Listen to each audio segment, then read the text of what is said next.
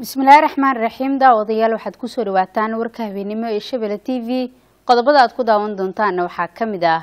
Dowladda federaalka soomaaliya oo sheegtay inay howlgal ka dhacay galgaduud iyo shabeellaha dhexe ay ku dishay in ka badan sagaal iyo toban ka tirsan al-shabaab etoobiya oo xadka ay soomaaliya la leedahay keentay gantaalada balaastiga ah. Maxkamadda gobolka galgaduud oo u fadhiisatay kiiska eedeysane maxamed kaafi cabdi oo loo haystay dilka allaha u naxariistee duraan jaamac maxamed oo dhowaan uu ku geeriyooday magaalada cabudwaaq wiil dhalinyaro ah oo ku geeriyooday dhismo ku soo dumay iyo dad weli laga raadinayo dhagxaanta hoostooda. Qodobadaas iyo qodobo kale ayaa daawadayaal ku daawan doontaan warka habeenimo u diyaar garooba qodobadaasi oo faahfaahsan xarunta caafimaadka ee titor dusuuqi medical center oo aad uga barateen adeeg caafimaad oo tayo sare leh waxaa lagu soo kordhiyey alisa mishin oo ah mid ka mid ah noocyadii ugu dambeeyey ee lagu baaro xanuunada wadnaha iyo hormoniska. Xarunta waxaa ka howlgala titor ibraahim dusuuqi oo ku takhasusay daweynta cudurrada guud kuwa gudaha iyo wadnaha. Xaruntu waxa ay ku taallaa dhabarka dambe ee hotel shamu. Wixii faahfaanintaasi dheeraadana waxaad wici kartaan eber lixal sagaal eber labo eber sagaal sagaal sagaal Real. Waqti baa qamaayo wadka ruux walbaa kolley wuu arkayaa iyo isbitaallada waddankeenna keebaa u wanaagsan. Wagar wadajir hosbitaal isaga u wanaagsan weliba waa laysku raacay. Warkaasi waa xaqiiq dhakhaatiir wada quburo ah wadajir hosbitaal waa halkaad ku arkayso. Isbitaalka waxa uu ku yaalaa degmada wadajir suuqa weyn ee madiina ama waac nambarka gaaban ee shan sagaal sagaal ama eber lixal eber konton iyo sagaal siddeetan iyo siddeed siddeetan iyo siddeed waxaad hadda hal meel ka wada heli kartaa dhammaan adeegyada dahabshiil group adigoo isticmaalaya ablicathonka dahabalaas oo adeegyo dheeraada lagugu soo kordhiyey ku bixi ku iibso ku kaydso. Dahabalaas habeen wanaagsan daawadayaal waxaad ku soo dhawaataan qodobadii aad daawateen oo faahfaahsan. Dowladda federaalka soomaaliya ayaa sheegtay inay howlgal ka dhacay galgaduud iyo shabeellaha dhexe ay ku dishay in ka badan sagaal iyo toban ka tirsan al-shabaab.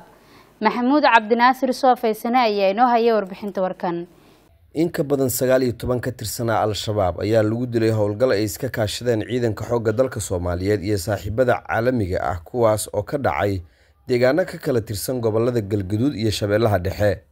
Howlgalka koowaad oo socday muddo ka badan afar iyo labaatan saac ayaa ka dhacay tuulada geedma arke oo hoos tagtay degmada runirgood halkaas oo isku diyaarinayeen al-shabaab. Goobtaasina waxaa lagu dilay afar iyo toban ka tirsanaa al-shabaab howlgalka labaad ayaa lagu beegsaday goob isbaaro u ahayd al-shabaab oo ay doonayeen sida la sheegay in ay lacago uga qaadaan dadka shacabka ah. Sidoo kale fariisinka ceelheelle waxa ay dowladda soomaaliya sheegtay in lagu burburiyey gaadiid dagaal oo al-shabaab ay kala soo baxsadeen halka uu ka dhacay howlgalka koowaad. Ciidanka xoogga dalka soomaaliyeed oo kaashanaya shacabka soomaaliyeed iyo saaxiibada caalamka ayaa laba jibaaray howlgallada ka dhanka al-shabaab iyadoo dowladdu ay sheegtay inay ka go-an tahay in ay la dagaalanto kooxdaasi. Maxamed soofaysan shabelle t v muqdisho. Etoobiya ayaa xadka ay soomaaliya la leedahay keentay gantaalada balaastiga ah. Cabdiqadar cabdiraxiin ibraahin ayaa ambaqaadaya ilaha sirdoon ee ka imaanaya dhinaca dalka etoobiya ayaa waxay sheegayaan in xukuumadda adis ababa markan ay qaadatay go'aan hor leh oo ka hor imaanaya diblomaasiyadda iyo xiriirka dariska ee ka dhexeeya soomaaliya iyo etoobiya markii adis ababa ay soo bandhigtay gantaalada riddada dheereeya iyo kuwa balaastiga ee loo yaqaano m menis labaatan kuwaasoo la soo warinayo in etoobiya ay qorsheynayso inay geyso meelo ka mid ah xadka dowla deegaanka iyo gobolka galgaduud wargees ka soo bax magaalada adis ababa ayaa wuxuu daabacay in adis ababa ay ciidamo dheeraada iyo gantaalada dheereeya iyo kuwa riddada dhexe ay geysay magaalooyin ku teesan xadka dowla deegaanka iyo gobolka galgaduud gaar ahaana magaalada harar iyo sidoo kale magaalada goday waxaana la soo warinayaa in gantaaladaasi xataa la geyn doono meelo horle oo ku yaalla gobolka hiiraan gaar ahaana aagga feerfeer sida xoguhu muujinayaan haddii etoobiya tallaabadan ay ka dhabayso islamarkaana ay qaado oo ay horey u sii qaado ethoobiya iyo soomaaliya khilaafkoodu wuxuu noqonayaa mid gaara meeshii ugu xumeyd iyadoo adis ababa xilligan ay ku dhaqaaqayso si horinta colaad dhex marata ethoobiya iyo soomaaliya. Khubarada dhanka amniga ayaa aaminsan in dowladdu ay ku baraarugto ficilada foosha xun iyo halista xilligan ka imaanaysa adis ababa ee ku aadan in etoobiyaanku ay doonayaan in ay qalqalgeliyaan amniga iyo xasiloonida soomaaliya sida xoguhu muujinayaan. In gantaalada dheereeya iyo kuwa balaastiga ee loo yaqaano mmenis labaatan la geeyo aag muhiima oo ka caagan xuduudda dowlad deegaanka iyo gobolka galgaduud tan ayaa waxay ka dhigaysaa in etoobiya ay si toosa u faragelisay arrimaha gudaha xilli etoobiyaba ay si toosa u ahayd mid faragelinta ku haysa dalka. Laakiin tan ayaa la aaminsan yahay in ay uga sii darayso xaaladda etoobiya iyo soomaaliya. Dad badan ayaa waxay aaminsan yihiin in dowladdu ay qaado tallaabooyin deg deg ah iyo in cunaqabatayna dhan walba lagu soo rogo xukuumadda adisababa si ficiladan foosha xun ay u joojiso dhinaca kale wasiirkii hore ee arrimaha dibadda soomaaliya axmed ciise cawad oo la hadlay telefishinka shabeelle ayaa wuxuu sheegay in ciidanka etoobiya aysan macquul ahayn inay xilligan ka baxaan soomaaliya. Dhowr sababood oo macquula ayuu cawad noo sheegay waxaana ka mid ah in soomaaliya aysan xilligan qaadin tallaabo adag oo ka dhana etoobiya sida in la joojiyo diyaaradda ethoobiya airline in cunaqabateyno lagu soo rogo xukuumadda adisababa iyo in la xiro qunsuliyadaha ethoobiya ay ku leedahay garowe iyo hargeysa. Aniga etoobiya ciidankeedu iguma muuqdaan inay ay baxayaan wax kastoo xukuumaddu ay tiraahdo hadda ka hor aya ay tiri maxaa yahdaa la taliyaha madaxweynaha amnigu uu yiri etoobiyaanku waa naga baxayaan mana ay bixin dalku way joogaan. Waxaa la yiri qunsuliyadaha etoobiya ay ku leedahay hargeysa iyo garowe ha baxeen ma bixin waanay joogaan. Diyaaraddii etoobiya weli waa shaqaysaa inaga etoobiya xiriirkeedii diblomaasiyad ma aynaan goynin. Taas laakiin marka ciidamada etoobiyana aniga ilama ayna sababtaysan u baxayna waxa weeye aniga hadalka ku bilaabay bayska dhibaatadeenna wuxuu ku salaysan yahay inaga kala qaybsanaanteenna iyo inaan xukuumadeena iyo dalkii oo dhan ka talin dadkii o dhan iswaafaqsanayn marka. Matalan somaliland oo soomaaliya ka tirsan ayaa la leeyahay la samaysay m o u ama isafgarad wax la samay etoobiya ma lama samaysan lama ay samaysan haddaynu hal dowlad iyo hal xukuumad oo oo laysku waafaqsan yahay nu lahaan lahayn waxaa la yiri puntland ka bax qusuliyadooda ka baxda puntland waa diiday xukuumaddu waxba kama samayn karto south west ayaa madaxweynahoodu yiri annaga etoobiyaanka waa u baahannahay marka nagama baxayaan. Waxaa laga yaabaa sidoo kaleeto gado iyo ay sidoo kale dhahaan iyo jubbaland ay sidoo kale dhahaan si kastaba ha ahaatee khilaafka ethoobiya iyo soomaaliya ayaa gaaray meesha ugu xumayd iyada oo khubarada dhanka amnigu ay ka digayaan haddii ciidamada masaarida la keeno soomaaliya oo ay yimaadaan dhinaca xuduudda hiiraan ama galgaduud in ay sahlan tahay in khilaaf iyo dagaal uu ka dhex qarxo ethoobiya masar iyo soomaaliya. Khadar cabdiraxiin ibraahim telefishinka shabeelle muqdisho maxkamadda gobolka galgaduud ayaa u fadhiisatay kiiska eedeysane maxamed kaafi cabdi oo loo haystay dilka allaha u naxariistee duraan jaamac maxamed oo dhowaan ku geeriyooday magaalada cabudwaaq. Iraad aadan cali ayaa warbixinta warkan cabudwaaq inooga soo diray. Codsi ahaan waxaan soo jeedinayaa in xukun laygu oofiyo xaqa isaaran oo laygu xukumo xukunka dil toogasho maxkamadda gobolka galgaduud ayaa waxay u fadhiisatay maanta dhagaysiga kiisu eedeysane ka yahay maxamed kaafi cabdi oo loo haysto inuu si kasa u diray allaha u naxariistee duraan jaamac maxamed oo dhowaan ku geeriyooday magaalada caabudwaaq kiiska oo ay goobjoog ka ahaayeen maamulka magaalada caabudwaaq laamaha amniga eherada labada dhinac iyo sidoo kale qeybaha kala duwan ee bulshada ayaa ugu horeyn guddoonka maxkamaddu waxa uu eedeysane maxamed kaafi cabdi weydiiyey. Sida uu kiiskaasi u dhacay. Laygu soo eedeeyey waan geystay si kasaan u geystay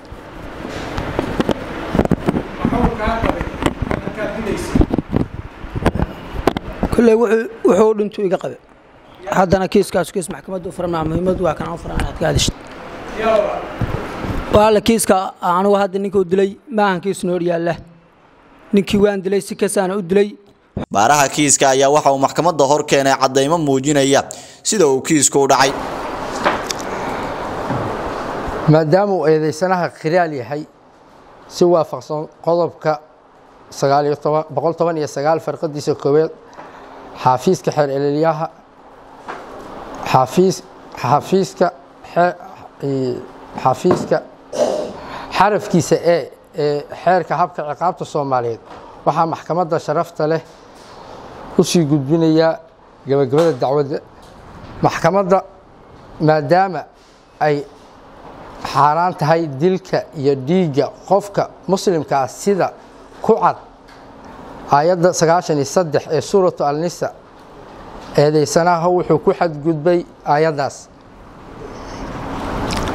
maadaama uu alle ku cabiray qofka dil qofkii dilaa qof muslima si kas ah inuu la mid yahay qof dilay dhammaan dadka. Sida ku cad aayadda soddon iyo labo ee suuratu almaa-ida eedaysanaha wuxuu u gafay aayaddaas waa qiraalkii maxkamadda garsoorka uu ku horsameeyey.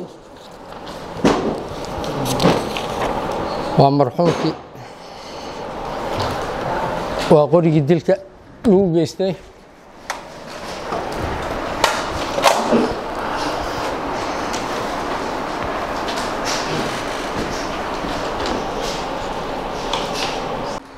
In eedaysane maxamed kaafi ay ku hesho eedda ku xusan aayadda afartan iyo shan ee suuratu maa-ida aayadda boqol toddobaatan iyo sideed boqol toddobaatan iyo sagaal ee suuratu baqara iyo qodobka afar boqol soddon iyo afar ee xeerka ciqaabta soomaaliyeed oo dil ah toogasho ah. Ahna qisaasta marxuumka. Qareennada difaacaya eedeysanaha ayaa maxkamadda waxa ay ka codsadeen in loo fududeeyo loona eego ifaalaha dembiga fududeeya. Inuu u naxariisto. Sidaa darteed maxkamadda saraftale waxaan ka codsanayaa inay u taegto qodobka toddobaatana qodobka afartanaad xarafka xeerka ciqaabta soomaaliyeed oo asbaabaha dembiyada fududeeya loo iskado maadaamuu isagu iskeenay macnaa keenay soo dhoweeya qiraalkii mare ku caddeeyey isu jirin dembigaas oo dushiisa ku oogay inuu asagu u kaalmeeyey garsoorkii inuu sida aad ka arkaysaanba uu sameeyey waxa la yidhaahdo soo dhoweynta eedda iyo fahamka eedda iyo qaadashadii xukunka o dhan ba asagu inuu isku waday. In loo naxariisto ayaan maxkamadda sarafkale ka codsanaya maxkamadda gobolka galgaduud ayaa mar kale weydiisay eedeysane maxamed kaafi cabdi codsigiisa ugu dambeeya ee maxkamadda. Codsi ahaan waxaan soo jeedinayaa in xukun laygu oofiyo xaqa isaaran oo laygu xukumo xukunka dil toogasho xaqa in laygu oofiyaan rabaa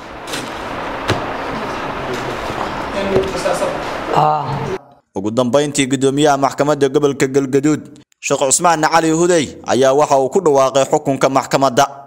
Maxkamadda gobolka galgaduud waxay ku dhawaaqaysaa xukun ciqaabeedka lambarkiisu yahay ma ga ga konton iyo kow islaash laba kun labaatan iyo afar. Haddaba maxkamadda gobolka galgaduud markay aragtay warqadda xafiiska xeer ilaaliyaha guud ee galmudug ee sumaddeedu tahay afar boqol labaatan iyo shan laba kun labaatan iyo afar. Markay dhegaysatay qiraalka eedaysanaha oo ku jawaabay si kas ah ayaan u dilay duraan jaamac maxamed.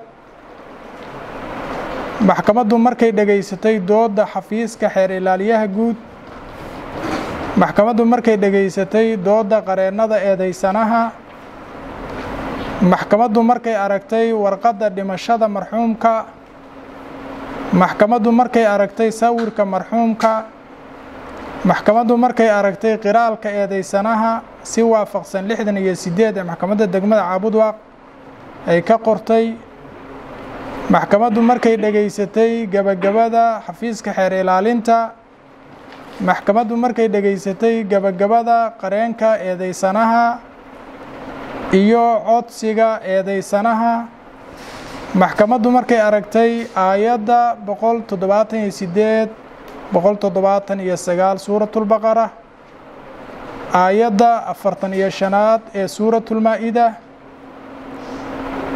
qodobka afar boqol soddon iyo afar xeerka ciqaabta soomaaliyeed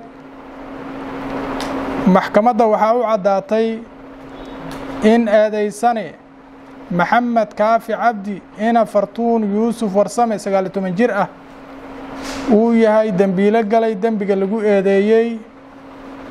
Maxkamadda gobolka galgaduud waxay ku xukuntay dembiile maxamed kaafi cabdi ina fartuun yuusuf warsame sagaaliyo toban jir ah ku dhashay degan caabudwaaq dil toogasho ah oo ah khasaastii marxuum duraan jaamac maxamed. Iraad aadan cali shabeelle t v caabud waaq. Wiil dhalinyaro ah ayaa ku geeriyooday dhismo ku soo dumay iyadoo dad dadka weli laga baadigoobayo dhagxaanta hoostooda. Shariif shuuriye ayaa warbixintii warkan inooga soo diray magaalada jowhar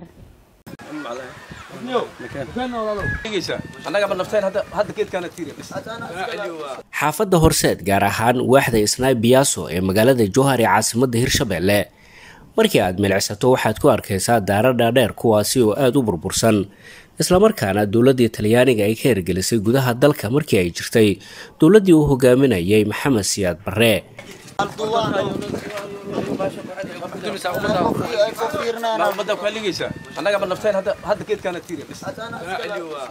dabaqan idiin muuqanaya waa dabaqa dirisyoonka dowladdii talyaaniga ayaa ka hirgelisay gudaha dalka soomaaliya gaar ahaan magaalada jowhar ee caasimadda hirshabeelle dabaqan maalin weliba waxaa yimaada dhallinyaro aada u fara badan kuwaasi oo dhagxaan ka qaata.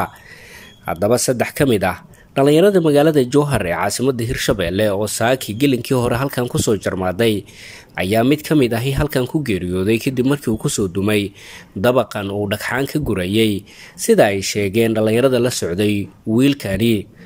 Ninka halkan ku geeriyooday ayaana ka mid ahaa dadka ku nool xaafadda horseed ee magaalada jowhar waxaana la sheegay mid ka mid ah dhismayaasha ku yaalla daarta dirisyoonka la yidhaahdo inuu hoos galay islamarkaana uu ka soo baxsanayay dhagxaan taasina ay sababtay inuu ku soo dumo dhismaha maadaama uu ahaa mid qadiimi ah sida uu sheegay mid ka mid ah odayaasha dhaqanka deegaanka oo warbaahinta la hadlay. Wiilasha waxay u soo aadeen hunguri u soo aadeen hunguriga ka soo doonteen. Dhagaxay baxsahaayeen. Dhagax ayagoo baxsanaya ku soo duntay. Mid waa ka fakada laba wiili ahaayeen. Halkaana ilaahay quturigiis waqtigiisa ku dhammaaday meesha. Wayna qabsatay dhagaxi. Waxaan leeyahay allah u naxariisto sabriga imaanna allah ka siiyo. Waana na wada sugaysaa annaga dhan. Waa la kala horeeyaa nin walba saacadiisa saac loogu diri maayo. Waqtigiisa meesha ku ekaa sabriga imaan allah ka siiyo. Waxaan leeyahay dhallinyarada isku dayayso inay matuuna inta kala baxaan. Sida wiilkaasoo kale yaysan ku dhicin sartaan waa duq waa yeel ah waana kaligeeda iska dudumayso yaysan soo gelin yaysan soo hawoonin ee ha iska dhaafaano hana ka tanasulaano dadka magaalada jowhar gaar ahaan kuwa xaafadda horseed ku dhaqan ayaanan ku baraarugsaneen mar weliba dhibaatooyinka kaga imaan karaa daarahan dhaadheer ee burbursan kuwa oo ay hirgelisay dowladda talyaaniga xilligii ay jirtay dowladdii maxamed siyaad barre balse shacabka ayaa beddelkeed halkaas waxa ay u soo doontaan. Agabyo kala duwan oo ay ka mid yihiin dhagxaanta iyo agabyada kale ee lagu dhisay guryaha ee burburay si ay halkaasi uga baxsadaan. Maamulka hirshabeelle weli wax baraarujina kamaysan soo saarin. Dhibaatooyinka iyo marxaladaha kala duwan ee lagala kulmi kara dhismayaashan dhaadheer maadaama biro dhaadheer oo shubah iyo sidoo kale dhagxaan awood badan ay ku jiraan mar welibana shacabka dhibaatooyin kala duwani ay ka soo gaari karaan shariif shuuriya xaashi shabeelle t v jowhar guud ahaan daawadayaal warkii habeennimo oo aad ka daawanayseen shabelle t v waa naga intaa ku soo dhowow isbitaalka takhasusiga ah ee caalami oo loo diyaariyey heer sare loona dhammaystiray dhammaan agabka caafimaadka. Isbitaalka waxaa diyaar kuugu ah dhakhaatiir iskugu jira soomaali iyo ajaanib sida dhakhtarka cudurrada guud iyo urkujirta dhakhtarka lafaha iyo dhaawacyada ciyaartooyda dhakhtarka qallimada guud iyo labaroskoobiga dhakhtarka qallimada haweenka dhakhtarka carruurta dhakhtarka keliyaha iyo kaadimareenka iyo taranka ragga dhakhtarka cunaha dhegaha iyo sanka dhakhtarka afka iyo ilkaha iyo dhakhtarka maqaarka. Sidoo kale isbitaalku wuxuu leeyahay qaybta gargaarka degdegga ah qaybta bukaanjiifka qaybta dhalmada qaybta shaybaarka qaybta raajooyinka oo ay diyaar kuugu yihiin digital x-ray iyo ford altrosound qaybta saalooyinka qalliinka iyo tuubooyinka la geliyo uurkujirta qaybta dhalada carruurta aan bila dhammaysan ee n i c u iyo qaybta i c u-da. Qaybta farmashiga oo lagugu diyaariyey daawo waxtar leh laguna keydiyey meel ku habboon. Caalami hosbitaal waa halka aad ka helaysa adeeg caafimaad oo dhammaystiran adiga iyo qoyskaaga. Wixii faahfaahinoo intaasi dheer fadlan kala xidhiir lambarrada iyo ciwaannada shaashadda kaaga muuqda